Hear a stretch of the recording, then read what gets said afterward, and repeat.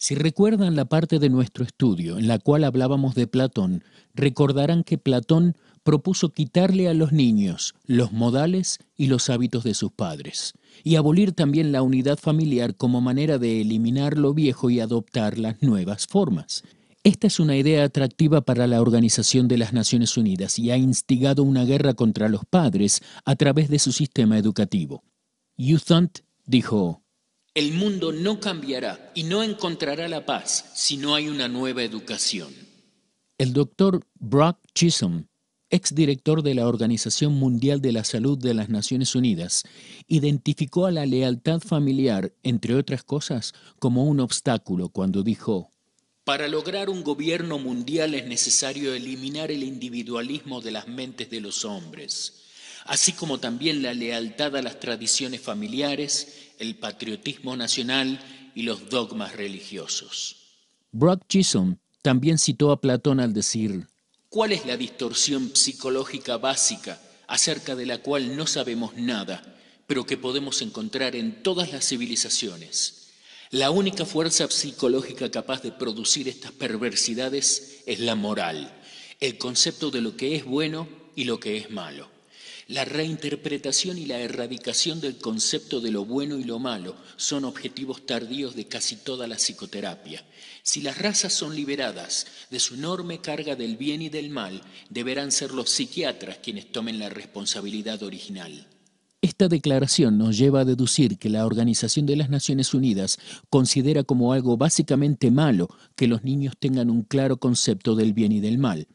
Al principio los niños deben tener un punto de vista distorsionado acerca de lo bueno y lo malo, para que luego se les pueda enseñar que no hay fundamentos para la existencia de tales cosas como el bien y el mal.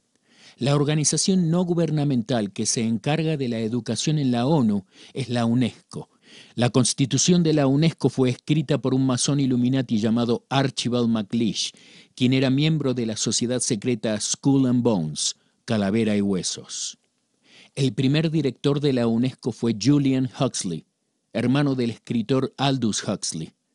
Él fue el humanista del año en 1962 y era miembro de la Oficina Comunista Colonial de la Sociedad Fabiana Británica. También fue uno de los dignatarios firmantes del Manifiesto Humanista número 2. Bajo la dirección de Huxley, la ONU creó un documento llamado El Manual para los Maestros, donde se les recordaba a los maestros su rol en preparar a los niños para una organización mundial.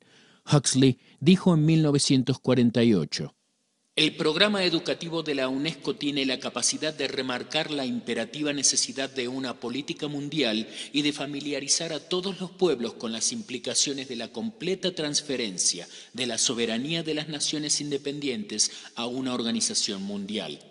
La unificación política para cualquier tipo de gobierno mundial será requerida. La UNESCO explica lo siguiente. Si la UNESCO es atacada en las bases de que está ayudando a preparar a las personas del mundo para un gobierno mundial, es un error estallar en disculpas y negaciones. Enfrentémoslo. El trabajo de la UNESCO es ayudar a crear y promover la ciudadanía mundial. Cuando nos enfrentemos a tales ataques, gritémoslo a los cuatro vientos. Ni siquiera pretenden esconderlo.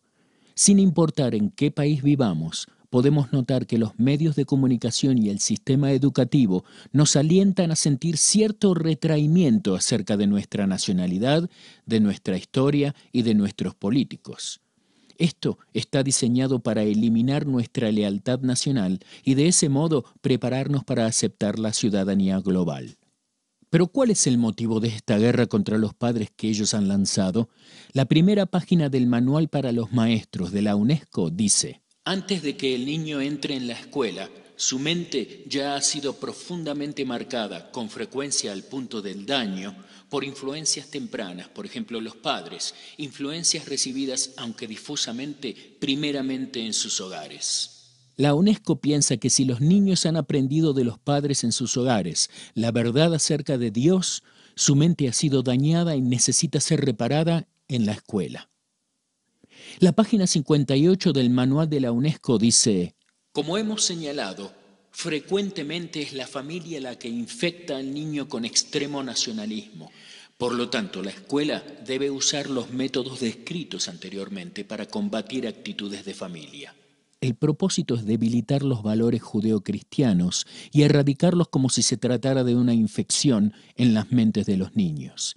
Quizás Peter Hoagland sintetiza esta mentalidad al decir, la gente fundamentalista que cree en la Biblia no tiene el derecho a instruir a sus hijos en sus creencias religiosas, porque nosotros, el Estado, los estamos preparando para el año 2000 cuando los Estados Unidos será parte de una sociedad global y sus hijos, así instruidos, no encajarán en ella. Están alentando a los niños a rebelarse contra las enseñanzas de sus padres. La página 8 del Manual para los Maestros dice, la escuela preescolar juega un papel muy importante en la educación de los niños. No solo puede corregir muchos de los errores de las enseñanzas recibidas en sus casas, sino que también los puede preparar para ser miembros a una temprana edad de un grupo de niños de su misma edad y de sus mismos hábitos, la primera de muchas identificaciones sociales que deben alcanzar para formar parte de la sociedad mundial. Una vez más, ven la enseñanza de los padres como un error que necesita corregirse.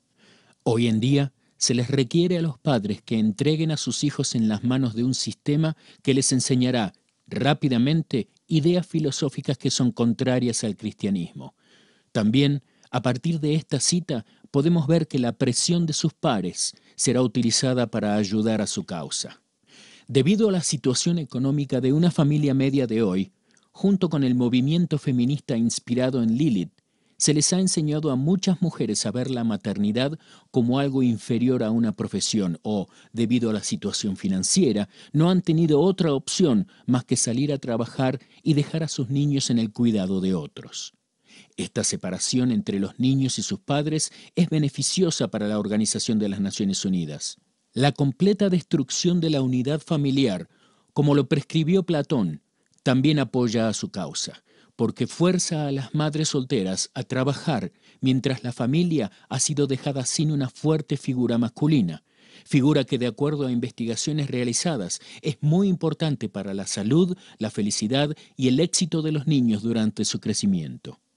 Esencialmente, la familia es robada de su fuerte líder espiritual. Satanás está llevando a cabo una guerra contra los hombres y la identidad masculina en general desde hace mucho tiempo, sabiendo que si los puede debilitar, desilusionándolos y dejándolos espiritualmente atrofiados, el resto de su trabajo será mucho más fácil. Creo profundamente que los hombres cristianos necesitan levantarse y mantenerse firmes en esta batalla contra su masculinidad. Las familias cristianas también necesitan mantenerse firme contra el hecho de que Satanás quiere destruirlas como una unidad cohesiva. Este ataque contra la identidad masculina es otro tema que necesita ser estudiado en profundidad, pero necesitamos guerreros espirituales con la completa coraza que Dios ofrece, que estén preparados para resistir al enemigo.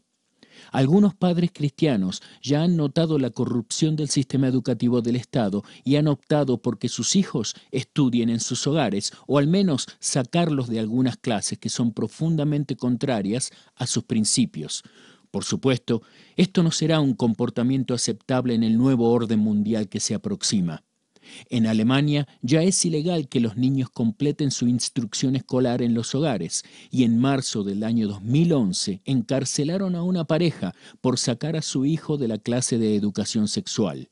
En Inglaterra, el 18 de octubre del año 2009, la titular del Ministerio de Educación británico, Diana Johnson, explicó durante una entrevista de radio de la BBC que algunos padres evangélicos deberían ser monitoreados por el Estado porque intimidan a sus hijos con ideas acerca de Dios, acerca del pecado y del infierno explicó que estaban estudiando las leyes de educación hogareña y como parte del estudio el gobierno propuso que oficiales gubernamentales de educación tuvieran la habilidad de entrevistar a los niños que recibían educación en sus casas sin la presencia de sus padres.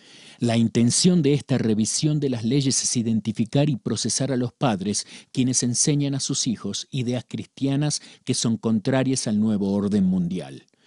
¿Son estas las acciones de una nación libre cuando el gobierno quiere procesar a las personas que tienen ideas diferentes, creencias diferentes y que hablan de cosas diferentes? Es imperativo que notemos cuán oscuras se están poniendo las cosas. El gobierno del Reino Unido está tan preocupado por la habilidad de los padres de mantener a sus hijos fuera del sistema que revisaron las leyes de la enseñanza hogareña tres veces en tan solo cuatro años. Solo dos meses antes de la entrevista en la BBC, un juzgado estadounidense decretó que una niña de 10 años que recibía sus estudios escolares en su hogar debía comenzar a asistir a una escuela estatal porque sus puntos de vista eran considerados muy cristianos. El abogado de su madre afirmó que el Estado decidió que las creencias religiosas de la niña eran sostenidas por ella en una forma demasiado sincera y necesitaban mezclarse con otros puntos de vista. El acceso a las ideas cristianas no será tolerado en el nuevo orden mundial. Ahora, hagamos un pequeño estudio del caso de la pareja alemania que se resistió a mandar a su hijo a la clase de educación sexual como parámetro que nos indique la dirección en la cual las cosas están yendo. El 16 de octubre de 1969, el cofundador de la UNESCO, Reinhold Niebuhr, firmó un anuncio publicitario del Consejo de la Información y Educación Sexual de los Estados Unidos, CICAS, por sus siglas en inglés, que dice, La posición de CICAS es que los anticonceptivos deben estar a disposición de todos, incluyendo a los menores, quienes deben disfrutar del mismo acceso a los mismos derechos de libertad e independencia y cuidados anticonceptivos que el resto de las personas. La posición de SICAS es que el uso de materiales sexuales explícitos, también conocidos como pornografía, es útil para una gran variedad de importantes necesidades de la vida de muchos individuos. La UNESCO aprobó la idea de que todos, incluyendo los menores de edad, deben tener acceso a anticonceptivos y también al uso de pornografía en la educación. Más adelante, el 9 de marzo del año 2011, se reportó que ese material explícito y permisivo había sido oficialmente aprobado en nombre de la educación para niños de hasta 5 años. Un poco más de un año más tarde, el 29 de marzo del año 2012, la Comisión de la Población y el Desarrollo de la ONU abiertamente aprobó la clase Derecho a la Sexualidad y a la Reproducción para ser impartida a niños a partir de los 10 años. Pese a que este enfoque lleva a una explosión en la promiscuidad sexual, enfermedades de transmisión sexual y embarazos en adolescentes, este tema no ha sido abandonado. Todo lo contrario, y aún peor. Los anticonceptivos gratuitos están ampliamente disponibles para facilitar la actividad sexual desde temprana edad. Su distribución se promueve como algo seguro y preventivo, pero el resultado de tal medida comprueba ser todo lo contrario, ya que las enfermedades de transmisión sexual entre jóvenes se ha elevado astronómicamente. Estas normas promueven la diaria destrucción de la vida de gente joven alrededor del mundo. La razón por la cual esto no cambia es porque a las organizaciones que las crean no les preocupa el bienestar de los individuos. La meta principal de la Organización de las Naciones Unidas es preparar el camino para la llegada de su Cristo, Lucifer. Recordemos que para ellos el fin justifica ampliamente los medios. Y fue así como en Alemania los padres han descubierto que si tratamos de sacar a nuestros hijos de ese camino, de ese sistema, seremos encarcelados. El manual para los maestros de la UNESCO, escrito bajo la guía de Huxley, perpetuó las antiguas ideas de la eugenesia al decir, aunque es verdad que cualquier política radical eugenésica será por muchos años políticamente y psicológicamente imposible, Será importante para la UNESCO saber que el problema eugenésico es examinado con el mayor cuidado y que se mantiene a la opinión pública informada acerca de los asuntos en cuestión para que mucho de lo que hoy es inimaginable al menos se convierta en algo imaginable.